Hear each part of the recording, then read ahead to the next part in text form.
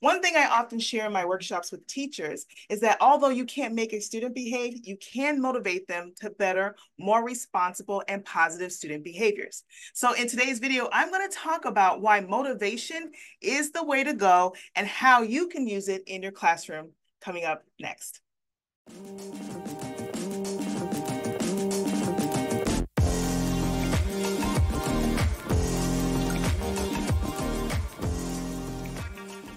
Hey everybody, Michele Holiday here. I am a behavior strategist and I help teachers, schools, districts, and student-based organizations with strategies, tips, and systems on how to manage their classroom, learning environment, and students with less stress and less struggle. And today we're talking all about student motivation. As I first started out, out as a teacher, I want to be real with you. My method of making students behave was primarily consequences and punishment. Partly because that's what I saw as a student growing up, and that's what I saw other teachers doing, and it worked for a little bit. The whole thing of only using consequences as a way to shape behavior was not working out, and it was actually making it harder on me than the students. So I had to figure out another way to get students to follow directions, listen, do their work, and all the other behaviors that come with being a successful student. And although I had learned some of this at school, being able to implement it in real world classrooms was a learning curve for me. So first, let's talk about what is student motivation.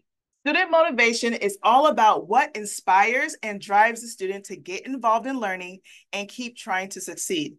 It's important for classroom management because if your students are genuinely involved in participating in your class lessons, they have less time to misbehave and do other things that distract the rest of the classroom. And let's face it, when your students have their own sense of motivation to do well in school, it makes it so much easier for you as the teacher. Now, here's some key things.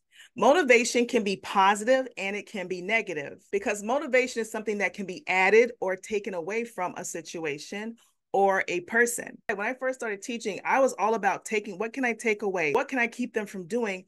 Hoping that by doing those things, it would motivate them to make better choices.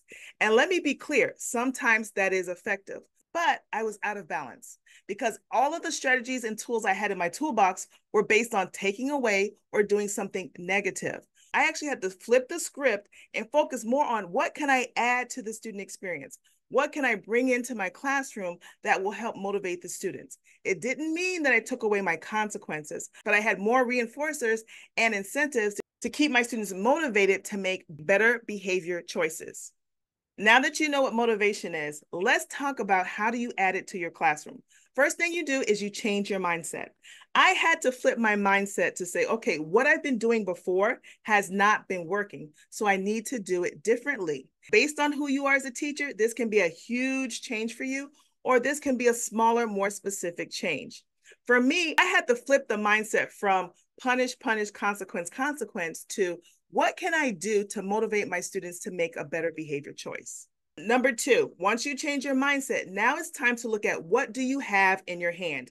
Meaning, what do you have access to that you can add to your classroom or add to your students' experience that will help motivate them?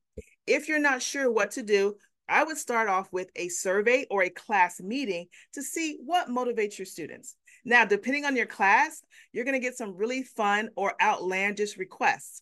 That's okay. Allow those to come in. But listen carefully to requests or ideas that you actually can do in your classroom. And let me just say this for free or for cheap. And you don't have to have 15 different options.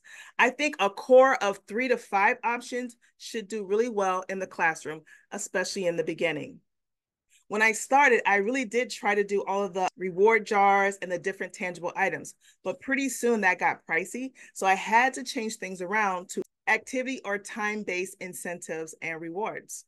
And I love those types of reinforcers or motivators because they are free and it is something that you can control as CEO of your classroom.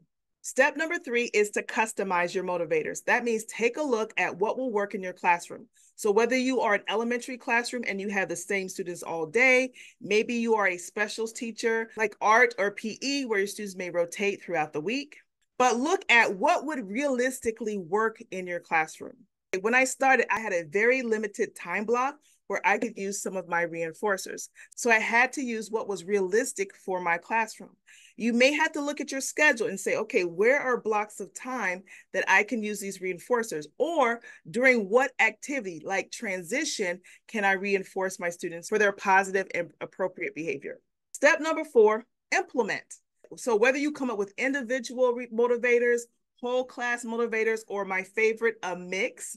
Some of my students need more individual motivators, others work well with group motivators, but begin to implement it into your, your classroom. Consistency is the key here. So make sure it's something that you can use on a regular basis consistently. Because if you only use it for two weeks and you drop off, you're not going to see the results you need to see. Which brings me into step number five, which is watch for the results. You can think that your idea is so great. This motivational thing that I have is so awesome. This will work. But watch the results. That's what's going to tell you whether your motivators are helpful and effective or not. So, what do I mean by watch for results? What you're going to look for is has the behavior decreased? Not necessarily has it gone away, but have you seen a decrease in behavior? Have you seen an increase in the behavior you want to see? Is it easy for you to implement or is it a grind every time you try to do it? All of those things matter when it comes to implementing motivators in your classroom. So there you have it, five steps to implementing student motivators in your classroom. Number one, change your mindset. Number two, take a look at what's in your hand or what you have access to. Number three, customize them so they work realistically for your classroom or learning environment.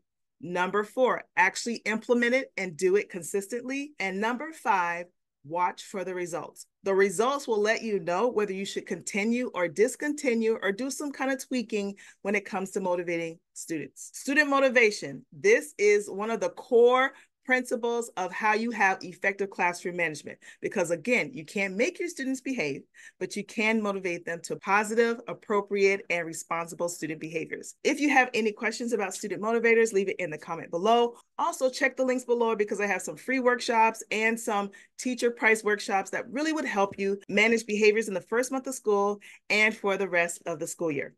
See you in the next video.